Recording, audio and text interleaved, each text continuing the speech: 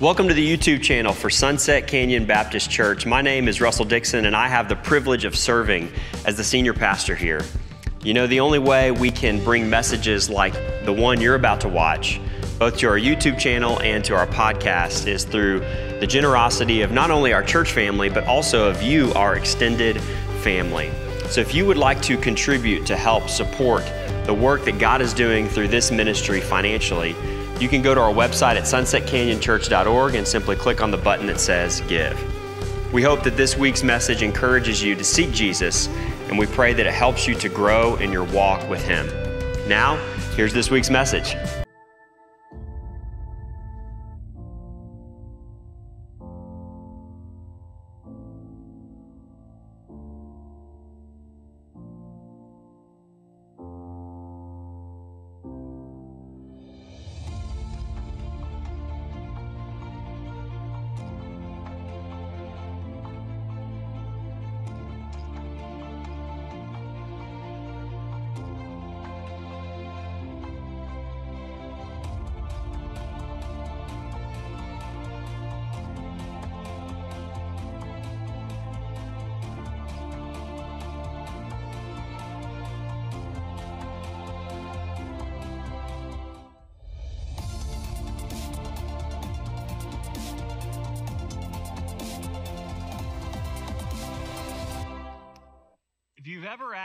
Kid to explain what love is, you kind of get some funny responses. Anybody ever asked a child what, what love is? Anybody want to bravely admit that? No? Okay. Well, uh, fortunately for us, there's a guy named Jimmy Kimmel who does a late night show, the deep scholarly theologian Jimmy Kimmel. And a couple years ago, he took to the streets. Well, he, I guess I say he. He took. He asked his team to take to the streets to ask some kids what their definition of love is. And I want you to check it out. What is love? I have no idea. What is love? Um, love is when you love somebody. And it's when you love somebody, and it's really when you love somebody. What do you think it feels like to be in love? It feels like heaven. What do people who are in love with each other do? They be gross. What does that mean? They kiss, they be gross. That's probably my favorite response right there. They be gross, is what she said. What is love? They be gross, right? But when you think about it, if you take that word now, she's obviously referring to like mom and dad being gross and PDA and stuff like that. But when you think about love, I would, I would trade the word gross for this word messy, right? That a lot of times in life, love is messy, isn't it? It's hard, it's difficult. It's hard to love people, especially because of the fact that we're all sinful and we're all broken. Recently, uh, David, our son, who's turning three in a couple weeks, um, actually, I think it's this week, he has started this thing now where he says, Daddy, I love you. And then he pauses, which is like, oh, that's sweet. So he'll say, Daddy, I love you. And then he'll pause, and then he'll say, But I don't like you. like literally, Daddy, I love you, but I don't like you. And, and I, I think about that expression, and I think that really encapsulates the heart of what it's like to love people, isn't it? That many times we may feel like, yes, I love this person, I'm called to love this person, but I think it's possible for us to love people, but also not really like them, right? And so today, as we continue this sermon series called Following Jesus in a Flawed Church, last week we started in 1 Corinthians chapter 1 and we talked about how every church has problems, right? That we all have issues, we all have struggles, we all have things that we prefer, and we talked about how Jesus has to be the guiding light, it has to be above everything. And so today we're skipping way ahead to 1 Corinthians chapter 13 because I want to talk to you today about how love is the answer to the problems not only in the church, but in the world. That if we want to see the gospel go forward, then we have to be people that are able to love others no matter what life throws our way. Amen. So if you have your Bibles, turn to 1 Corinthians chapter 13. I want to give you a little bit of context and then I'll give you the big idea or the key thought for today's message. But I would just start out by saying today's message is going to be very, very simple. So it's not going to be this overly theological uh, sermon. However, I find in my own journey, some of the most simple things in the Christian faith are the hardest things to do. Amen? Sometimes the most simple things of loving people well are often the most challenging things for me to do. So, what's going on in, in, the church in Corinth, we talked about last week that Corinth was a very strategic city. It was located on an isthmus and it was a travel city. And so, because of that, there was a lot of different backgrounds colliding in the city. So, you had all different diverse people, and with that came a diverse range of sin issues and sin struggles. And so Paul goes and he starts this church in Corinth, and there's a massive move of God that happens. However, what starts to happen is the world started getting into the church more than the church starts to get into the world. That doesn't happen today anymore, does it, right? So, what happens is Paul writes this letter to help redirect them or get them back on track. And I want to give you just a little bit of context on what's going on in 1 Corinthians 10, 11, and 12 because it's important. Because I think when you hear 1 Corinthians 13, we all immediately think of what? A wedding, right? That's, the, that's, the, that's, the, that's part of why whenever I do a wedding, if a couple asks me about scriptures, I always say I never do 1 Corinthians 13 and the reason why is because I know that some aunt, uncle, or cousin is probably doing a scripture reading with 1 Corinthians 13. But believe it or not, Paul did not write this and go, you know, I'm going to help weddings be awesome when they when in 2022. I'm just that's that's my goal here is I want weddings to be really powerful. That's not what he is doing when he writes this letter.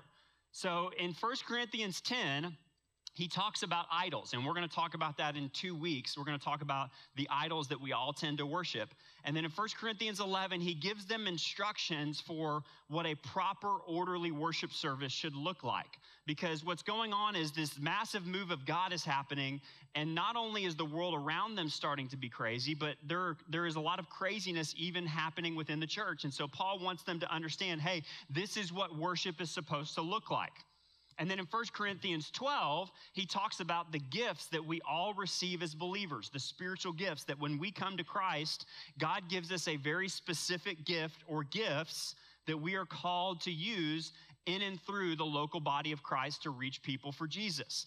So then, on the heels of that, is where we encounter 1 Corinthians 13 because he's talking about okay don't let idols happen. Don't make sure your worship services are right Make sure you use your gifts properly, and these what they are.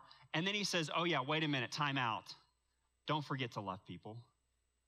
Don't forget to let the love of Christ dwell in your heart. So that's the context that we will be diving into. If you have a listener guide, I want to give you the kind of the key thought for today. It's very, very, very simple, but it's this. It's if we want to be more like Jesus, we have to love like Jesus.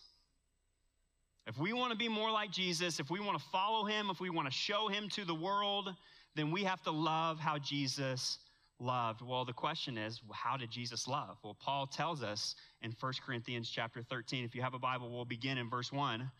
So 1 Corinthians 13, verse 1 says this If I could speak all the languages of earth and of angels, but didn't love others, I would be a noisy gong or a clanging cymbal.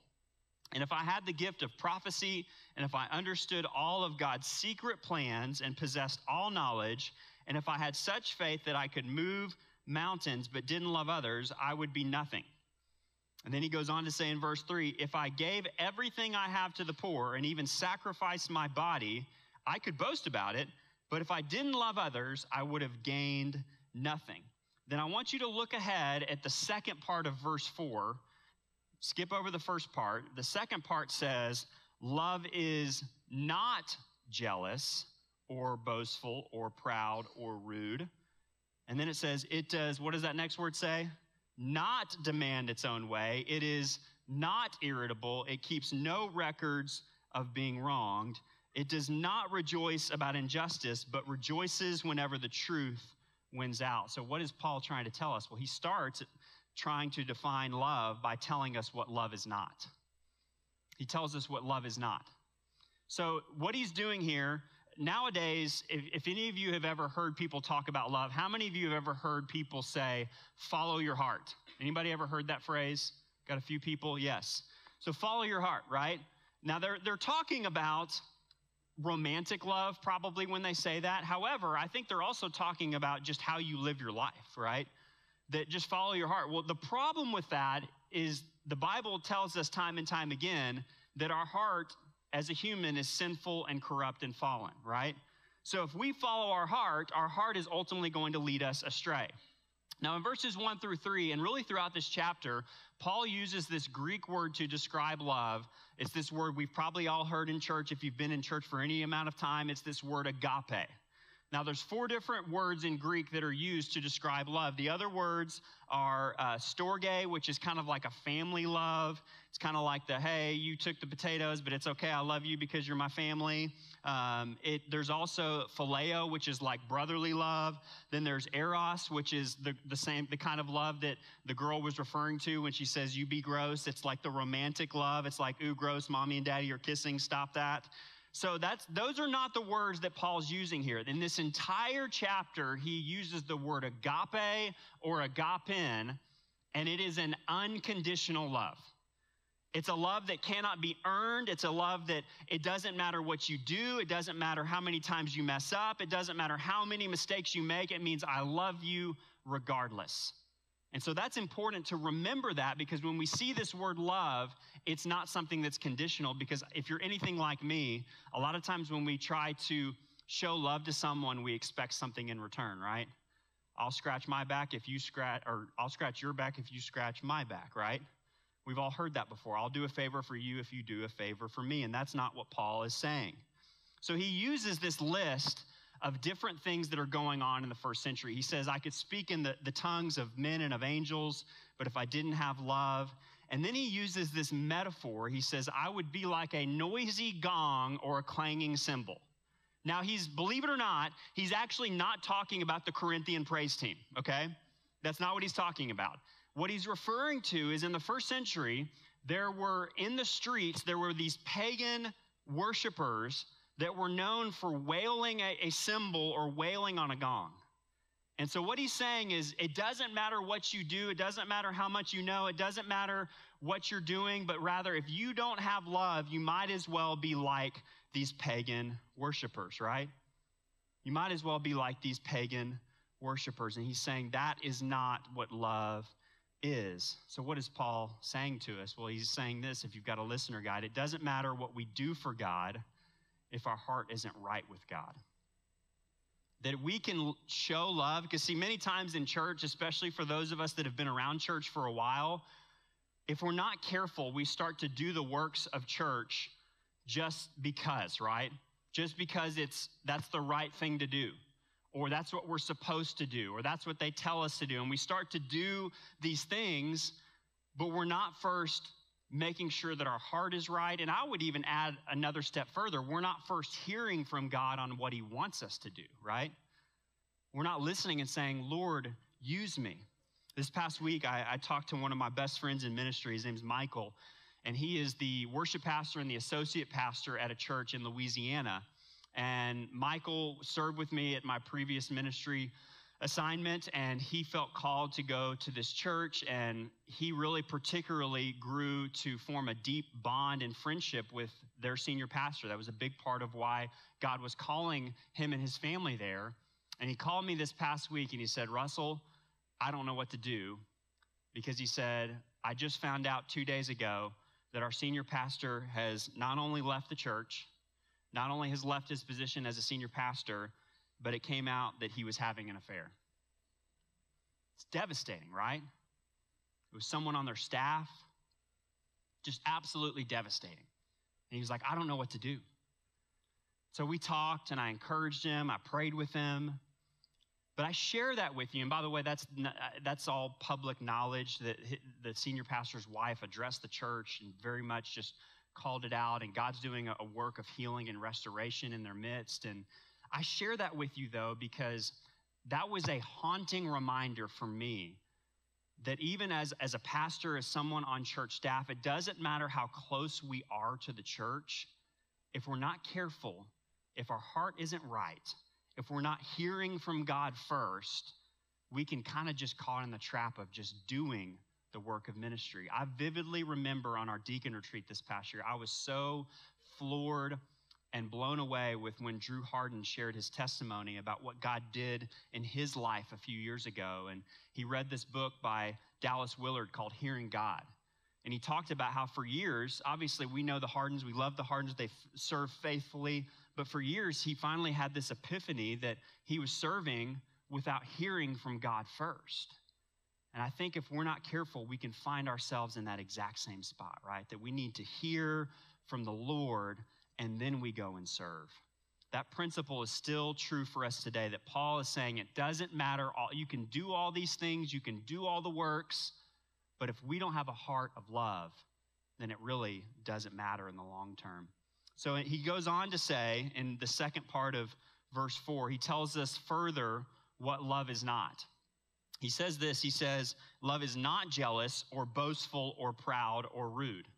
Now, that list, when you first read it, you think, okay, I could probably handle that. But when you really ponder it for a minute, that's not exactly easy for us to do as Christians, is it? I mean, think about jealousy. We have a built in mechanism to enhance jealousy. Do you know, want to know what it is? Facebook, Instagram, social media, TikTok, whatever it might be, right? We see people, we scroll, and I'm not saying those are bad things. I'm, I'm on them. My Instagram account was hacked this past week. Y'all pray for me. It's probably a good thing, at least according to Liz. But it's a built in, if we're not careful, jealousy mechanism, right? Because we watch people's highlight reel. It's not their real life. They don't post the picture of their toddler melting down, right? They don't post the, the, the, fight that they got in with their spouse. They post their, their vacation to Turks and Caicos, right? And you're like, that would be nice.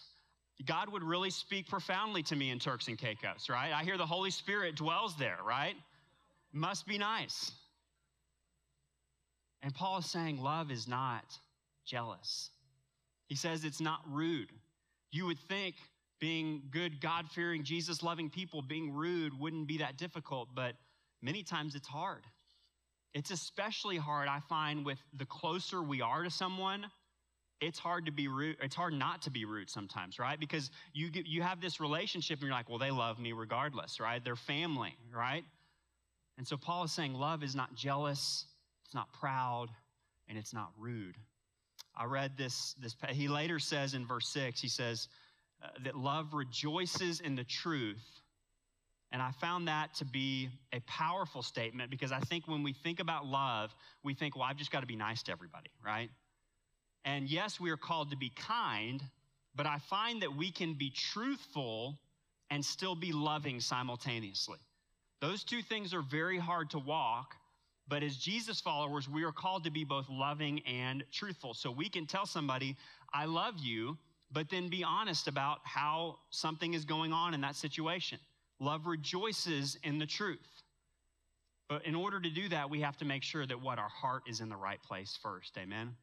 I read a quote this week from Gregg Matte, who's the senior pastor of First Baptist Church in Houston. He wrote a book on following the will of God, and he said he was talking about his sermon preparation, and he said, "My ministry was completely revolutionized when I realized that sermon prep was not simply a process of paying my dues with study, and then asking God to bless the message that I prepared. Right? So he was like, I'm writing this message. Okay, Lord, I got this really good message. Will you, will you bless it for me? And then he goes on to say, My prayers for blessing and power, this is awesome, were too late. He says, I had already created the whole thing with the right heart, but in the wrong order the right heart, but the wrong order. He said, I was trying too hard. The switch came when I became conscious that I had been asking God to bless my ideas instead of asking Him for His idea. God's power always accompanies God's will.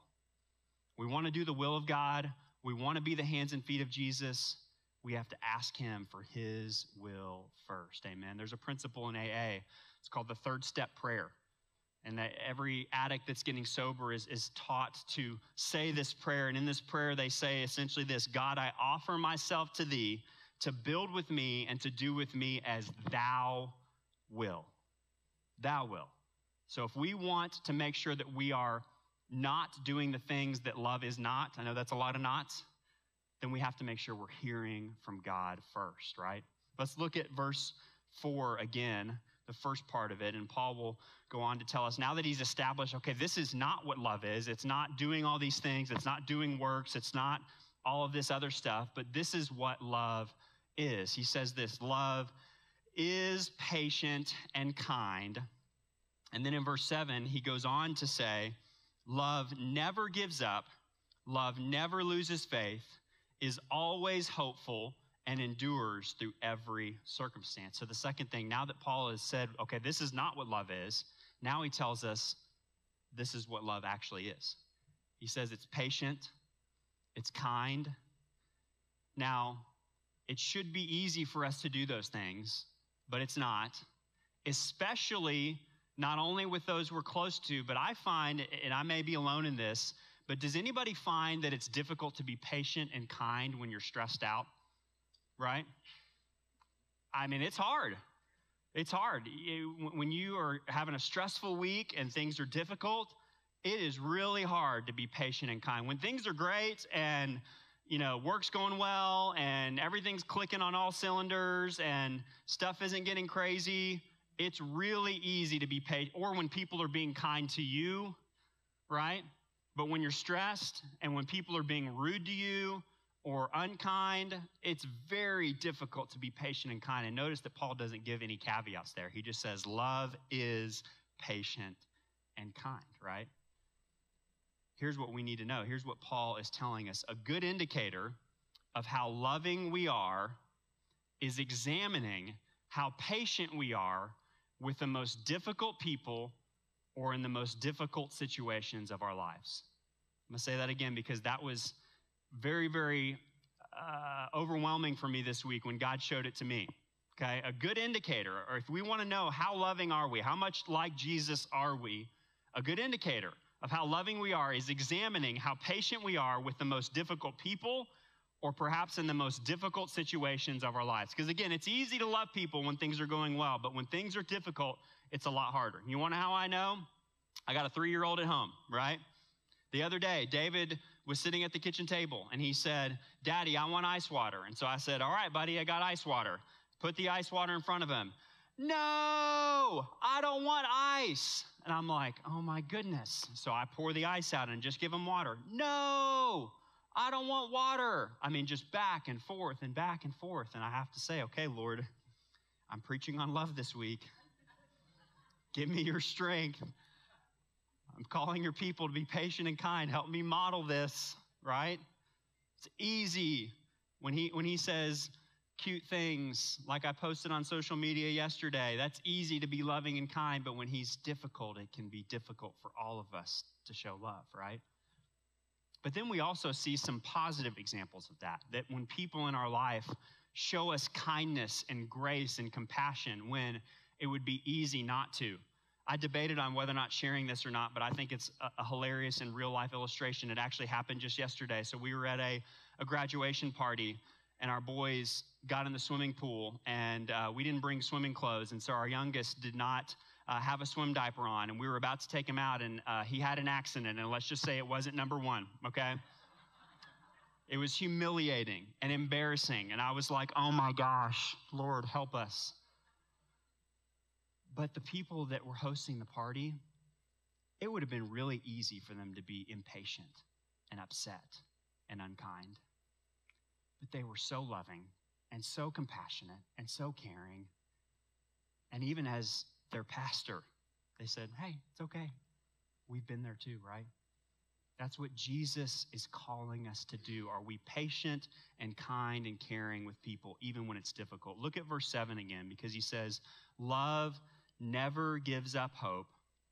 Love never loses faith, is always hopeful, and endures through every circumstance. What is Paul saying there? So, in the Greek, the way this literally translates, he says, All things it bears, all things hopes, all things endures. The word for all things in the, in the Greek is this word panta, P A N T A. It comes from the root word pas, and it's essentially talking about all things, but it's using this analogy in the, in the original language. When someone heard that, they would have thought of a picture, okay? A picture, like almost like a painting, but they would not think of necessarily the whole picture. Because in the Greek, when you use that word, it was actually referred to as one piece at a time. Okay, one piece at a time, you're painting the whole picture. Why is that important and why is that significant? Because I find that sometimes, many in our life, these little encounters we have with people that seem insignificant, that seem like they don't matter, no one else will see, no one else will know. When we choose to show the love of Jesus in those little small moments, guess what we're doing? We're painting the whole picture of what God's love really looks like, right? We're showing people one piece at a time. And they just see this one little part. All I saw was how he handled that difficult situation. And I don't know much about him. I know that he goes to Sunset Canyon. I know that he says he loves Jesus. And when I see that one little encounter, I go, wow, he must serve a really big God, right? You want to how I know you can know immediately what the whole picture looks like? I've got an illustration here. I'm going to ask for some help. Okay, I'm going to ask Mr. Joe Bowman. Can you tell, tell me here what this is? Can you see? How about anybody? How about Joe House? You know what that is? It's a $1 bill, right? Let's give him a round of applause. There we go. I'm giving him a dollar bill. People are going to, I hear the pastor gives out money. You, don't, you only have to see a small part of it to know the whole picture, right? And so Paul is saying that when you show Jesus, even in those little small moments, you're painting the whole picture of what it looks like to be a follower of Jesus. Look at verse 13. He says this Three things will last forever faith, hope, and love. And the greatest, y'all say greatest, the greatest of these is love.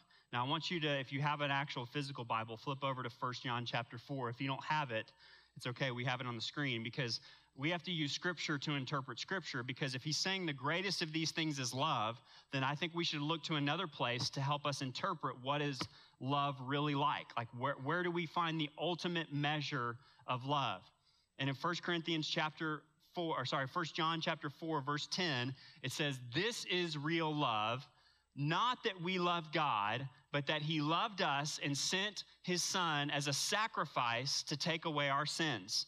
And then in verse 11 it says, "Dear friends, since we since God loved us that much, we surely ought to love each other. No one has ever seen God, but if we love each other, God lives in us and his love is brought to full expression in us." The third thing that we need to know about love is what love produces. And essentially, love is producing love, right? Love multiplies, and that means that we show it to other people. The direction that Paul leaves us with is that if we have experienced Jesus' love in our own life, if he has come into our life, if we have received him, then it shouldn't just stop there. Notice that in 1 John chapter 4, it doesn't say, hey, we love other people because we're awesome, right? It doesn't say we love other people because we have the inherent ability on our own. No, it says if we have experienced the love of Jesus in our own life, that out of that overflow, that's how we're able to show kindness and patience and compassion to others, even when they don't deserve it. You want to see an interesting experiment here? So, what essentially what John tells us is that the reason we can love others is because of Jesus, right? So, flip back to 1 Corinthians chapter 4, or sorry, chapter 13. And I want you to look at verse 4. And what we're going to do is we're just going to read these few verses, but instead of the word love, we're going to use the word Jesus, okay? Jesus is patient and kind. Jesus is not jealous or boastful or proud or rude. Jesus does not demand his own way. Jesus is not irritable and keeps no record of being wronged. I would add parenthetically, because of the cross. Jesus does not rejoice about injustice, but rejoices whenever the truth wins out. Jesus never gives up. Jesus never loses faith. Jesus is always hopeful, and Jesus endures through every circumstance. Amen? That we can do those things because of Jesus. So, in other words, if we have Jesus in our heart, we have experienced his love. And if we have his love, then love produces action. If we've experienced God's love in our own lives, it should be expressed in how we love others. Amen? Even in the most difficult circumstances. I'll close with this story. It's a story about a guy, I don't want to miss his name. His name is Richard Reed. And Richard lived in Los Angeles for a long time.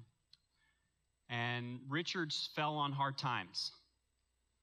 He had a difficult life. Eventually, he found himself homeless. And it seemed like every opportunity that he had to try to get on his feet, something just would knock him down and knock him down and knock him down. And finally, he went to his church, he went to his pastor. Was a famous pastor in LA, and the pastor brought him in his office, and the church came alongside him and helped him get back on his feet. Things started to turn a corner for him. But then the pastor said, Hey, I, I don't, you shouldn't just stop there. Like, don't just get back on your feet and let it stop with you. The pastor charged him. He said, Hey, this city, if you haven't noticed, has a lot of people going through a similar situation that you did. They have a lot of people that are struggling with homelessness and things like that. And so the pastor, now that this Richard Reed was back on his feet, he challenged him to start an organization. And that organization is called First to Serve. And this organization comes alongside homeless people that are struggling with difficult situations and it helps them get back on their feet. This organization has now impacted hundreds of thousands of people throughout the LA area. As a matter of fact, they now have 15 different facilities that they get to use to bless other people.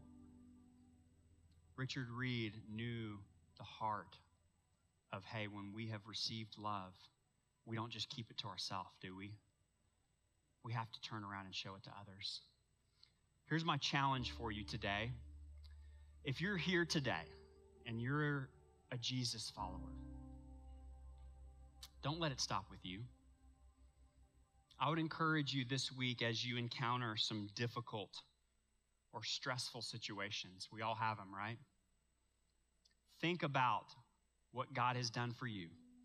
And think about the fact that Paul charges us to be patient and kind and compassionate and caring, even in the most difficult situations in life. Amen.